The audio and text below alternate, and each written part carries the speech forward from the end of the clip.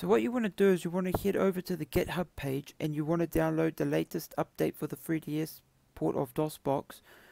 You want to download the DOSBox-3ds.3dsx file. Then what you want to do is you want to take your SD card out of your Nintendo 3DS and you want to put it in your computer. And then you're going to go to the 3DS folder on your SD card and you're going to create a folder called DOSBox, all one word. Then you're going to put the 3DSX file in there. And you also, on your SD card, will need to create a folder in the DOSBox folder called config. And then you're going to put the .config file in there.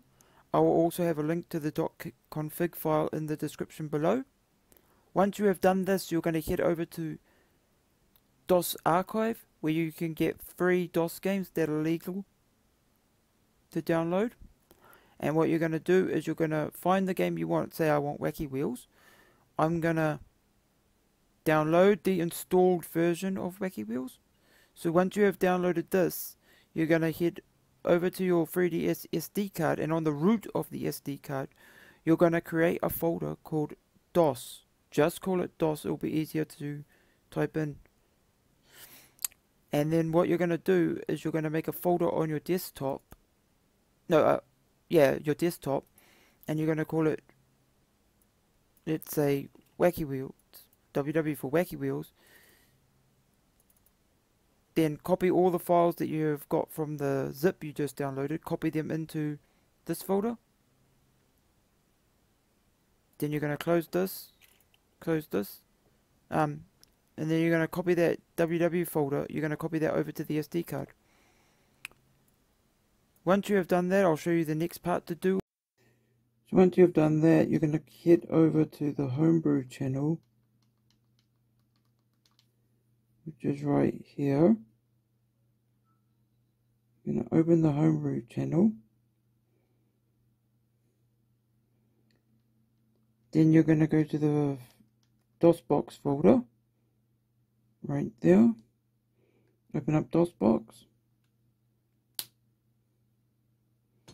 The only thing with DOSBox is the text will be quite hard to read. But what you're going to do is you're going to hold your stylus on this.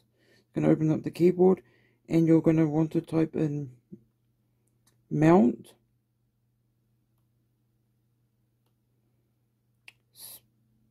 mm, space C space, then you want to click this, and you want to go that line, and you want to type in, oh, hang on, you want to type in DOS, and then you want to click enter, then it will say that's mounted, and then you want to click C, dot dot, see it says it's mounted right there, I don't know how well you can read that, and then you want to proceed dot dot slash and then you want to go enter. Then you want to go back to here and type in dir enter. Then you will get the directory of where you have stored your DOS games. And then what you are going to do is click I mean type in cd space then the folder you want to open. So right now I want to open up Wacky Wheels, so I'll type in WW. Then, it, as you can see, it's changed to Wacky Wheels folder. So then I'll type in D-I-R, enter. Then you'll see a list of the files there. What we want to open is www.exe. So I'll type in www, enter. And there we go, Wacky Wheels should start loading. Can take a few seconds to load up, but it will eventually load.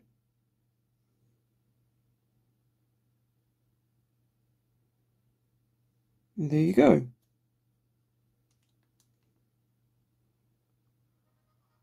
Wacky Wheels is now running on the 3DS.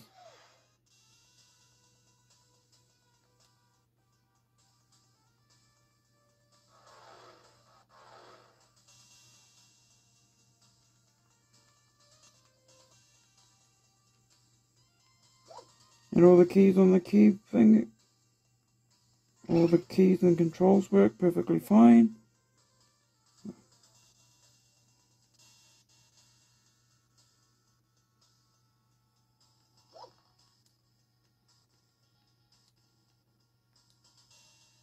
Note, if your game does run a little slow or doesn't run that good, you can go into this here and you can change the frame skip to 1 or you can change the cycles to higher cycles so the game will run better.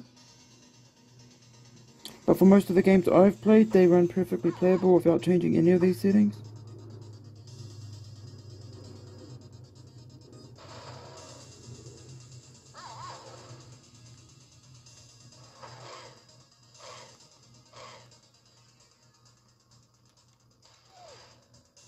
Wacky Wheels does look like it's running a tiny little bit slow.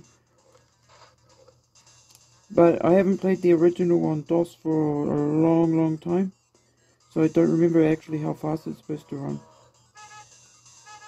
But as you can see, it's running. It's perfectly playable. So yeah, if you need any help with this, please leave a comment down below and I'll reply back to you if you need any